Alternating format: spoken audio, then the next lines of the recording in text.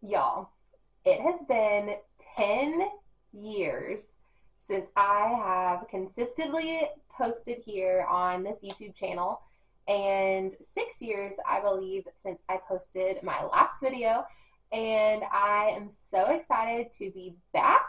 So, for the last six or so months, I have just been really thinking about and praying about starting my YouTube channel back up again, which is crazy. Um, but I didn't want to do that without first giving a life update because my life is a billion percent different than it was 10 years ago, much like yours, I'm sure, as well. And so, yeah, I just wanted to talk about the last 10 years and then also share uh, kind of the future of this channel. So, if you're a subscriber seeing this video, you may remember me posting videos about minimalism and simple living and faith and doing online Bible studies and things like that. Um, I still plan to post videos with that same content. Um, my views on those things have not changed. In fact, I think they've gotten stronger. However, I am going to be sharing those things from a completely different background and perspective because when I was making videos 10 years ago, I was single, I was in college, and then starting out my teaching career, and now I am married and I have a three year old little boy, and I'm a stay at home mom. And so a lot has changed, and so let's dive into what the past 10 years have been like. So, when I last posted, I was in the middle of my teaching career. So, back up to 2020, right before the pandemic, I started dating my now husband. His name is Keaton. I'm hoping I can add some photos here. I haven't edited a video in 10 years, so I hopefully I can do that. So, Keaton and I grew up at church together. We went to the same high school and everything, and honestly, I liked him for 10 years before he asked me out. So if you are watching this and you are waiting for your future husband, um, sometimes it takes 10 years for them to finally, for the scales to fall from their eyes and them to realize, oh, okay, maybe we should try going on a date. So anyway, we started dating in December 2019. He was living in California, going to seminary and helping plan a church. I was still here in Nashville, um, teaching, and then COVID hit. And as you know, the world turned upside down. It was madness. But honestly, it kind of worked out really well for me because um, Keaton's classes shut down. He ended up losing his job because the cafe shut down, which are horrible things. But because of that, he was able to move back home to Nashville.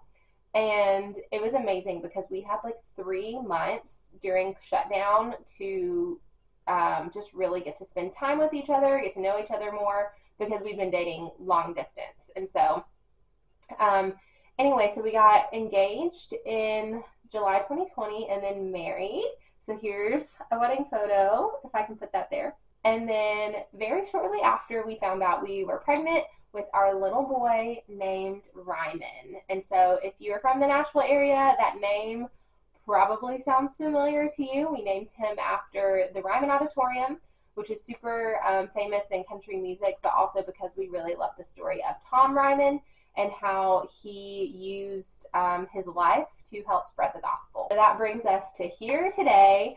Um, so I'm not teaching anymore. Once I had Ryman, I left my teaching career and I am staying home with my little boy and absolutely loving it. But I do have a little nap time hustle that I run alongside my husband. Actually, it's mostly my husband's side hustle. Um, it is a non toxic candle business that we started um, not too long after Ryman was born because if you are a single income family, you know how hard it is to live off of one income in the economy today.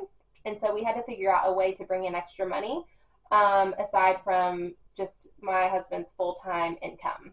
So, Candles by a Dad was born.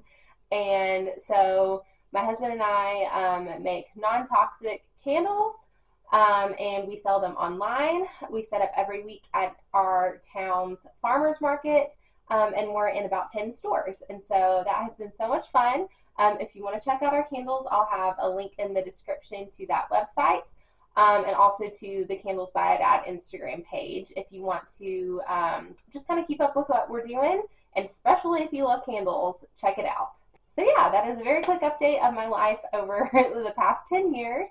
Like I said, if you are a subscriber, I didn't want to just jump in into making um, a video about minimalism or something like that without being like, oh, I'm back, here's an update first. So if you stuck around to the end of this video, thank you so much. It means a lot to me. And um, if you remember my videos from 10 years ago and you watch them, I would love to hear from you. If you wanted to leave a comment down below um, and just let me know what you're up to in life because I would love to know and I'd love to reconnect with y'all and just kind of rebuild this community here on my YouTube channel. So yeah, going forward, you can expect to see very similar videos to what I used to post. So things about faith and just Christian living, um, homemaking now that I'm married and have a kid. So I guess that's different than what I did 10 years ago. And to have some stay at home mom weekly vlogs going up and just videos about living a simple and intentional life. So thank you so much for watching. I hope you have a fantastic day and I will see you in my next video.